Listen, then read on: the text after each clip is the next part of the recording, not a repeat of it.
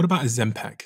I find it interesting because of all the impact it's having on society. And it is a very powerful tool. The problem with it is no one is being necessarily taught how to come off it. So if we look at Ozempic and how powerful the GLP-1 is, we see it does invoke an appetite switch where it mutes the appetite, dampens cravings. So we see rapid weight loss, but that rapid weight loss is lean mass. So that comes back to the WALL-E picture where you can't get up because you don't have lean mass. I fear for society who doesn't have the opportunity to learn how to come off it through proper strength training, exercise modalities, and nutrition to support the weight loss that comes with Ozempic use. Mm-hmm. It's absolutely brilliant tool, but we're falling on the behavior change.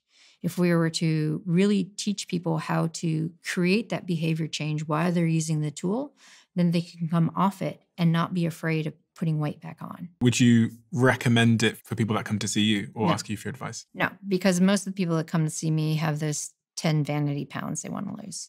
I call them vanity pounds because they're the ones that creep up and you can instigate little changes within the daily life to actually lose them and keep them off for people who have severe obesity, they're pre diabetic, they have other medical conditions, exercise is definitely in the too hard basket because they get breathless just getting up out of their chair.